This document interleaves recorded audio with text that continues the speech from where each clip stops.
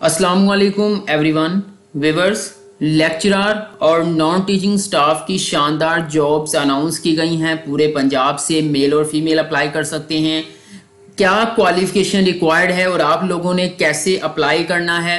ये तमाम तरह डिटेल्स इस वीडियो में शेयर करूँगा। लेकिन उससे पहले, अगर आप मेरे चैनल पर नए हैं तो वीडियो के नीचे एक रेड बटन होगा, उसे प्रेस करें। चैनल सब्सक्राइब करें बेल आइकन को लास्ट भी प्रेस करें, ताकि लेटेस्ट आने वाली जॉब अपडेट्स के नोटिफिकेशन आप लोगों को मिल सकें। तो चलिए स्टार्ट करते हैं फ़र्स्ट एडवर्टाइजमेंट पर चलता हूँ और आप लोगों के साथ शेयर करता हूँ कि कौन सी पोजीशंस अनाउंस की गई हैं, कहाँ पे अनाउंस की गई हैं। फिर मैं आप लोगों को बताऊँगा कि आप लोगों ने कैसे अप्लाई करना है। जी तो यहाँ पे मैं एडवर्टाइजमेंट पर पहुँच चुका हूँ और इसे हम करते हैं थोड़ा सा जूम इन के ताकि आप लोगों को भी साथ क्लियर नज़र आता रहे। ये जी तो एनएफसी जो है वो institute of engineering and technology Multan के अंदर है ये यूनिवर्सिटी एन एफ़ सी वहाँ पर जो है वो लेक्चरार की जॉब्स अनाउंस की गई हैं और साथ में कुछ नॉन टीचिंग स्टाफ की जॉब्स अनाउंस की गई हैं। यहाँ पर डिटेल शेयर कर देता हूँ। पहले यहाँ पे देख सकते हैं N F C Multan federal degree awarding institute ठीक है? यहाँ पर application inviting application from qualified male and female ठीक है? जो क्राइटेरिया पर पूरे उतरते होंगे, उनके लिए ये कॉन्ट्रैक्ट बेसिस पर हैं। और यहाँ पर ये मेंशन नहीं किया गया कितना कॉन्ट्रैक्ट है। तो जारी बात है कि यहाँ पर जो है, वो मिनिमम एक साल तो होगा, लेकिन आपके जो है वो कॉन्ट्रैक्ट को जो है वो एक्सटेंड भी किया जा सकता है depend on your quality education की आप कैसे जो है आपकी परफॉर्मेंस कैसी है ठीक है? चलिए हम स्टार्ट करते हैं। जी फ़र्स्ट में जो पोजीशन है हमारे पास लेक्चरर की, वो है जी पेट्रोलियम पेट्रोलियम इंजीनियरिंग है एनर्जी इंजीनियरिंग है इन्वायरमेंटल इंजीनियरिंग है। ठीक है? एक एक पोजीशन है कॉन्ट्रैक्ट पर और इसके लिए अप्लाई कौन कर सकते हैं? M S in relevant discipline first division और बी ग्रेड वाले अप्लाई कर सकते हैं। एच की तरफ़ से आपकी डिग्री रजिस्टर होनी चाहिए। या तो एम एस हायर एजुकेशन की तरफ़ से होना चाहिए। और दूसरी बात, पाकिस्तान इंजीनियरिंग काउंसिल की तरफ़ से आपकी रजिस्ट्रेशन होनी लाजमी है। ठीक है? तो ये हो गया जी लेक्चर की जॉब्स नेक्स्ट पे पोजीशन है, वो है जी लैब इंजीनियर ठीक है? लैब इंजीनियर के लिए कौन लोग अप्लाई कर सकते हैं? पहली बात यह है कि petroleum petroleum engineering civil engineering mechanical engineering ठीक है? यहाँ पे आप देख सकते हैं जो पेट्रोलियम इंजीनियरिंग है, इसकी दो पोजीशंस हैं। सिविल इंजीनियरिंग की एक पोजीशन है और मैकेनिकल इंजीनियरिंग की भी दो पोजीशंस हैं। इसके लिए अप्लाई कौन कर सकता है? BSc in relevant discipline first division and B grade वाले अप्लाई कर सकते हैं। एचईसी की तरफ़ से आपकी जो है वो जो उस यूनिवर्सिटी से हो, जो उस यूनिवर्सिटी से आपने एजुकेशन हासिल की हो, जो एचईसी की तरफ़ से रिकोगनाइज हो। और दूसरा, पाकिस्तान इंजीनियरिंग काउंसिल में आपकी रजिस्ट्रेशन मस्ट होनी जो रजिस्ट्रेशन कार्ड होता है, ठीक है ना? वो वाला। नेक्स्ट में हम बात करते हैं जी। नेक्स्ट में है जी प्रोग्रामर प्रोग्रामर जी कंप्यूटर प्रोग्रामर की पोजीशन है। ये यहाँ पे आप देख सकते हैं, एक पोजीशन है कॉन्ट्रैक्ट पर। और इसके लिए अप्लाई कौन कर सकते हैं, वो मैं आप लोगों को बता देता हूँ।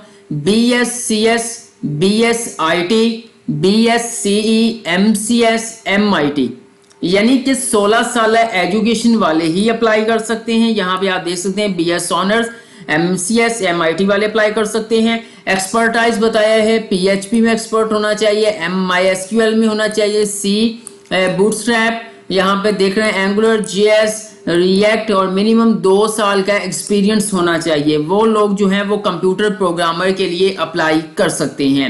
नेक्स्ट बात करते हैं जी नेक्स्ट पे biomedical engineering technology lab technologist की पोजीशन एक पोजीशन है।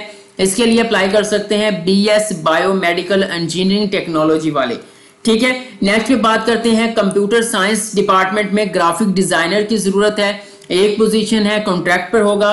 इंटरमीडिएट और इक्विलेंट क्वालिफिकेशन वाले जो है अप्लाई कर सकते हैं। दो साल का एक्सपीरियंस होना चाहिए डिज़ाइनिंग का अडोब एलिस्ट्रेटर के अंदर। अब ये लफ्ज कोई अडोब भी कह देता है, कुछ अडोबी भी बढ़ते हैं, ठीक है? फोटोशॉप एंड कोरल ड्रा और must be expert in Urdu and English typing English typing आपकी अच्छी होनी चाहिए उर्दू टाइपिंग आपकी अच्छी होनी चाहिए। जो चीज़ें मैंने आप लोगों के सामने टूल बताए हैं सॉफ्टवेयर उसके अंदर जो है वो एक्सपर्ट होना चाहिए। एक्सपर्ट दो साल का एक्सपीरियंस जिसका दो साल का एक्सपीरियंस हो जाता है, वो तो लाजमन एक्सपर्ट हो जाता है। नेक्स्ट बात करते हैं नेक्स्ट पे ड्राइवर की दो पोजीशन हैं कॉन्ट्रैक्ट पर। मैट्रिक सेकंड डिवीज़न वाले अप्लाई कर सकते हैं पीएसवी ड्राइविंग लाइसेंस रिक्वायर्ड है। पाँच साल का एक्सपीरियंस जिनका होगा पब्लिक सेक्टर ऑर्गेनाइजेशन के अंदर, उनको तरजीह दी जाएगी।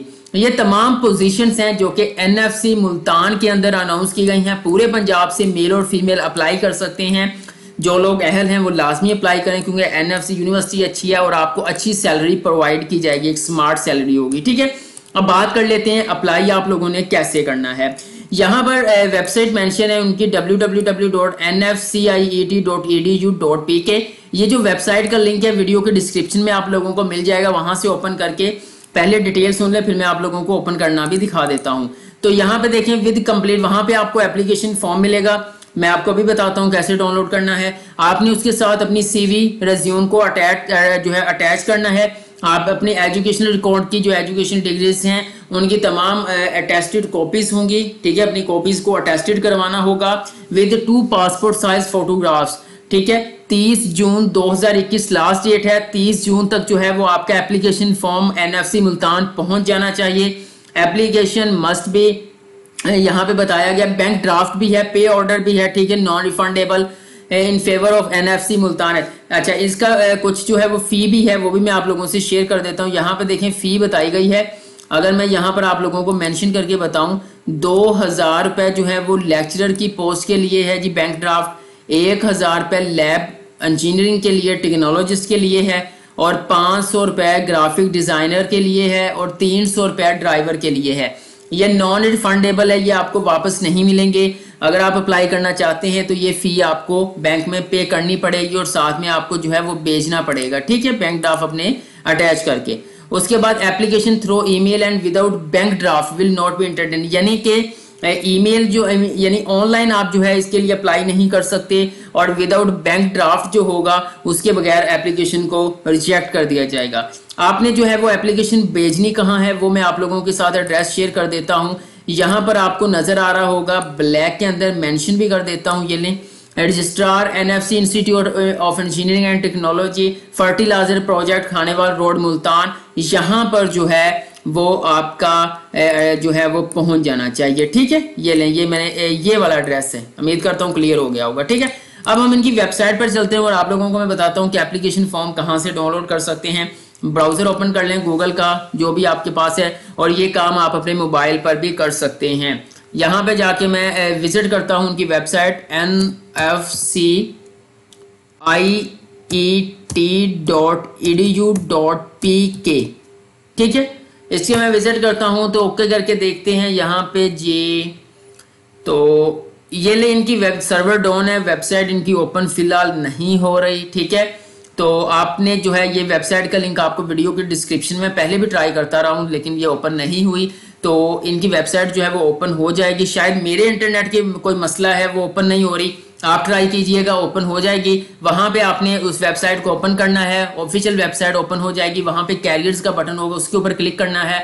वहाँ पर ये जो है पोजीशंस अनाउंस की गई होंगी उसके ऊपर क्लिक कीजिएगा। वहाँ से आपको एप्लीकेशन फॉर्म मिल जाएगा, उसे आपने डाउनलोड करना है। उसके बाद बैंक में जाना है बैंक में स्लिप या साथ में एप्लीकेशन फॉर्म के बैंक ड्राफ्ट भी होगा।